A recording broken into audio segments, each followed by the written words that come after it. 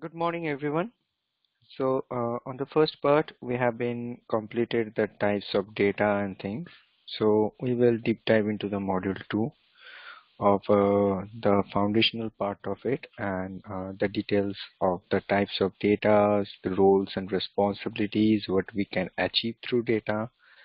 Then we will move ahead with uh, the different data roles uh, job roles, the task and tools for the database administration, and way forward with the relational data in today's class. So today's class will be mostly into the theoretical part of it.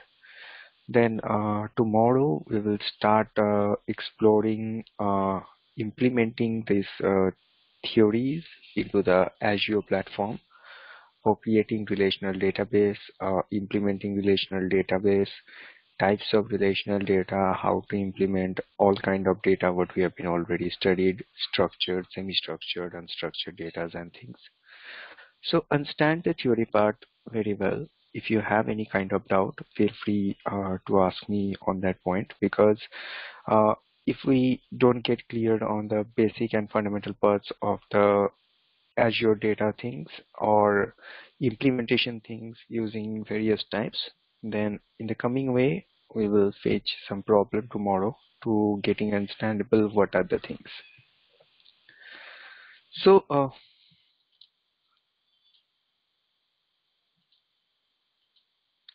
So the basic learning objectives of that, that uh, what are the data job roles? Because uh, in the exam perspective, uh, there were some questions comes in the paper that they describe some of the workaround and description of some jobs. And we have to fetch that what kind of job roles are there. And then the next part are like uh, what are the common tasks uh, associated with this data roles? And what are the specific tools used for this kind of data roles.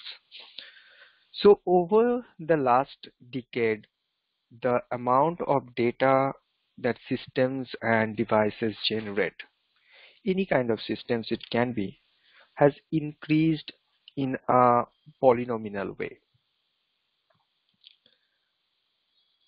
Because uh, the increase of this data every second, every moment, new technologies, new job roles, and approaches towards working with data has been significantly increased with affecting professionals. Data is everywhere, starting from a simple job role to other jobs. So uh, in this chapter, we'll follow the roles in data, common tools database administrator use, different type of data studios, SQL Server Management Studio, Azure Portal to manage Azure SQL database, common tools that data engineering people require to work on, common tools for the data analyst people, and data visualizations tools. So coming to the part of the roles in the world of data, there is wide variety of roles involved in managing, controlling, and using data. Some roles are business oriented, some roles are involved more into engineering part or research part, and some are the hybrid roles that combine different aspects of data management. In this part, we have been mostly focused on some of the fixed role which is very common nowadays like data analyst, data scientist, data engineers, machine learning engineers, and site reliability engineers or MLOps engineers, what is naturally termed in as per the Microsoft services, and database administrator. So each of these role may define differently in different organizations. But as per the roles described, it is encapsulate the most common division of labor and responsibilities according to the world of data. So we'll start from the part of the database administrator. The term administrator comes from the part of the admin. So in simpler term, an Azure database administrator is responsible for the end-to-end -end process of operational aspects of data, starting from the part of designing the database, manage all the kind database, access management, maintenance, assigning permission for the rest of the user, creating backups, copies of the data, and restore the data is specifically the four major component for any database administrator.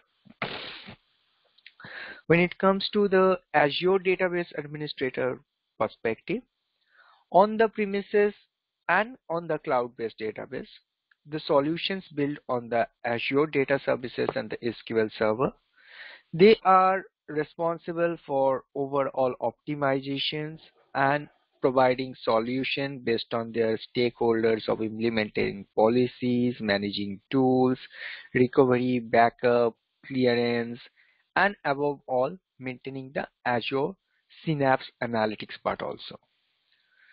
So rather than the uh, specific role description, the examples for that like uh, for most of the banks, insurance companies, hospitals, or any kind of organization. Database administrator oversees the creation, maintenance, and security of database. Basically, it is controlled by server and handled by some admin people, IT admin people who manage all kind of data, products, software, permissions, and regarding else. So this is a basic implementation of uh, a data through MySQL perspective. Data are connected in type of integer, characters, in means different kind of and over here it's like the fields of mention for data for some specific ID of a person, name of a person, surname, age, email, phone number, and this is like a primary means set up of primary key and the foreign key what we have been described. So it can be auto incremented and non auto incremented these steps of the codes will follow up in our next class when we will start implementing using SQL into the relational database server